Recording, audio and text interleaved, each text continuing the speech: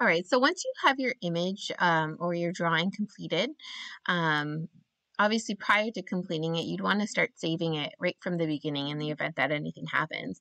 And you can find the saving feature up here at the top. Um, mine's already saved, but um, there's a button here where it says saved. It will say save and then you'll click on that and then it'll prompt you to um, save it as a SketchUp file. You'll click on the little box and then you'll save it however um, you're asked to be saved it.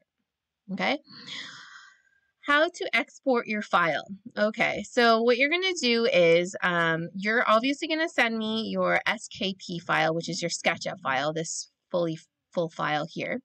Um, and I will go into that in the event that something um, I feel is not shown in your picture files or if something goes wrong. So it's always good to send me a backup of your SketchUp file. But what I want for this particular project is I want you to send me two picture files.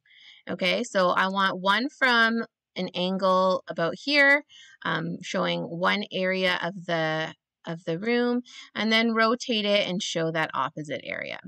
Okay, so how you're going to do that is you're going to um, start off by positioning your um, image uh, where uh, where you want the picture be, to be taken. Okay, and again, I'm just using the orbit function, which is that um, wheel ball on your mouse. If you press down on it, it um, provokes the um, the orbit feature, or you can just click here to the left and select the orbit command, and that'll allow you to do that as well.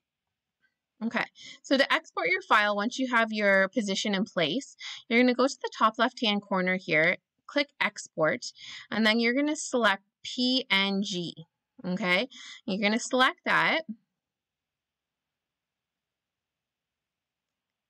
Mine's just loading, may take a while. And then um, it'll bring you to this file right here. And this is the file um, which uh, essentially is going to be uh, what you're going to be submitting with. It's going to take a picture of. Um, you can also move your file in here if you need to make any further adjustments. So then what you're going to do is once you have your image in place and the way you like it, you are going to go to export as PNG. And then it says large items may be a bit longer to export. That's fine. And then you go export. And then it's gonna um, it's gonna go to your downloaded um, file or however um, however uh, your computer reacts to um, saving a file um, from online. Um, and then you'll find that. So I, in my case, mine will be um, mine will be in my downloaded file. Okay, so you're going to do that. You're going to do it with one, one, um, one view, and then you're going to rotate it and do the exact same process with the other view. And then what you're going to do is you're going to go to uh, D2L, and you're going to submit me two PNG files, which are the two picture files that you took, and your um, one um, SketchUp file should be SKP. Okay? Um, if you have any questions, just ask.